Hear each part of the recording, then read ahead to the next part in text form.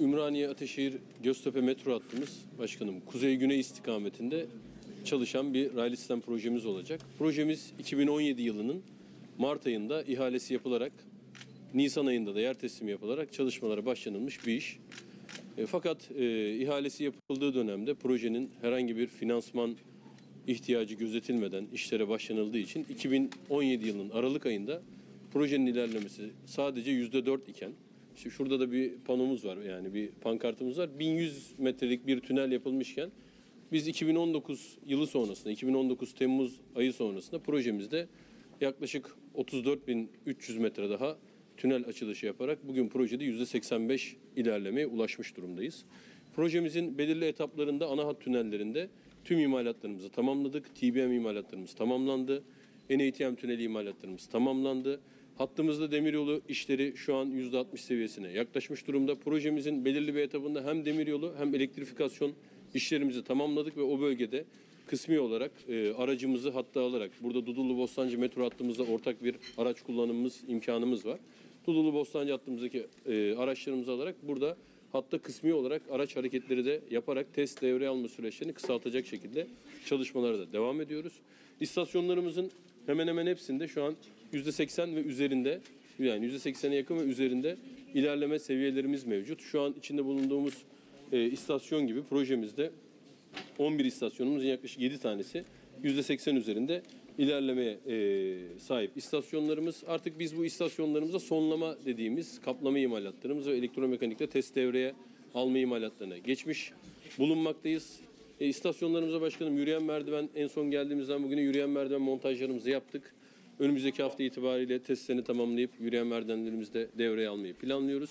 Projemize bugüne kadar biz e, 400 milyon euro artı en son e, yaklaşık 11 ay bekledikten sonra bir 75 milyon euro ilave e, finansman izni alındı. E, maalesef projemizde bu finansman e, izinlerinin gecikmesi dolayısıyla projenin sürekliliğinde bazı problemler yaşanmakta ama e, bu gecikmelerin olduğu dönemde öz kaynaklarımızda da projemizin hedef süresinde tamamlanması için e, bütün imkanlarla şu an çalışmalarımıza devam etmekteyiz. Şu an projemizde 1300'e yakın e, çalışanımız mevcut. E, 11 istasyonumuzun tamamında çalışmalarımız devam etmekte başkanım. Hattımız kuzey-güney ekseninde e, Kazım Karabekir Mahallesi'nden yani Ümraniye ilçe sınırlarından başlayarak Çarşı istasyonunda mevcut şu an işletme altındaki Üsküdar Samandıra Merkez metro hattımızda Çarşı istasyonunda bir entegrasyonumuz olacak. Finans merkezi bölgesinde e, finans merkezi bölgesine gelecek ilk raylı sistem projesi yine Ümraniye Teşehir Göztepe metro hattımız olacak. Burada planlanan, burada kalın beyazda gördüğümüz projeler planlanan raylı sistem projelerimiz. Sabiha Gökçen e, Havalimanı'ndan Beylikdüzü'ne 52 dakika 52 dakikada erişimi sağlayacak. Bizim aslında İstanbul'un e, mega raylı sistem projesi dediğimiz Hızray projemizin de finans merkezinde bir entegrasyonu olacak. Yine e, Sancaktepe ilçemizden başlayarak Sancaktepe'den e, Ümraniye, Ateşehir ve Kadıköy ilçe sınırlarını geçerek e, Yeni Doğan Söğütlü Çeşme geçen metro hattımızın da yine finans merkezinde bir entegrasyon noktası olacak. Yeni Sahra istasyonumuzda da yine mevcut işletme altındaki Kadıköy Sabiha Gökçen metro hattımızda bir entegrasyonumuz olacak ve Tütüncü Mehmet Efendi istasyonumuzda da Marmaray entegrasyonumuzu sağlayacak. E, Kuzey Güney'de yani dört farklı hatla entegrasyonu sağlayacak. Yani yapımı devam eden de beşinci hatla beraber güçlü entegrasyonları tamamlayacak e, bir projemiz olacak. Projemizde dediğimiz gibi başkanım Dudullu Bostancı hattımızda da bir bağlantımız var. Burada ortak araç ve ortak sinyal sistemine sahibiz. E, bu hattımızda e, kullanacağımız araçların üretimlerinde de şu an Sakarya'da yerli yani Sakarya'da Hyundai Rotem firmasıyla Sakarya'da bu işin e, üretimlerini yapıyoruz. Sakarya'daki yerli Sakarya'da bulunan fabrikada üretimleri devam ediyor. E, orada da bu hattımızda kullanacağımız 40 vagon e, üretimleri başladı. Birinci vagonumuz artık oluştu. E, son e, montajları yapılması sonrasında önümüzdeki yılın ilk çeyreğinde araçlarımızı da hatta indirip hem istasyonlarımızdaki devreye alma testlerimizi, elektromekanik devreye alma testlerimizi hem de ana hat tünellerimizde e, araçlı sinyal testlerimize başlayarak projemizi 2025'in son çeyreğinde açmayı hedefliyoruz.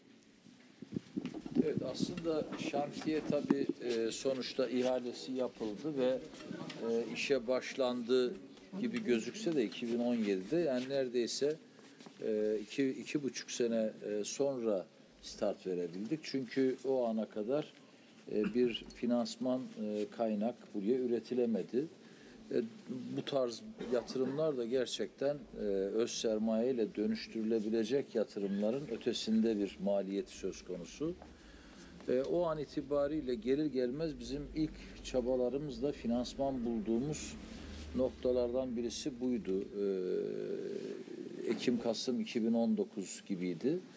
E, ama işte birkaç ay başlangıç e, şeyiyle beraber e, aslında durağan olan şantiyeyi hiç durmadan e, bugüne kadar e, taşıdık ve inşallah önümüzdeki sene e, bu aylarda, Ekim-Kasım aylarında bu hattı e, İstanbul'umuza kazandırmış olacağız. Tabii finans merkezi açısından hani finans merkezi açısından çok önemli bir hat. E, Şu anda finans merkezi yavaş yavaş yerleşiyor. E, Dolayısıyla e, bir nevi eş zamanlı bitirmiş olduk. Tabii hatırlarsanız finans merkezi aslında 3-4 sene önce bitecekti.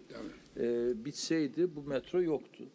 Ee, ama hani biraz onun da gecikmesi, bunu biz aldıktan sonra toparlamamız şimdi böyle eşgüdümlü, eş zamanlı e, bir arada e, hizmete girmiş olacak. E, bu çok değerli bir kuzey-güney ekseninde Anadolu yakası için çok değerli bir hat.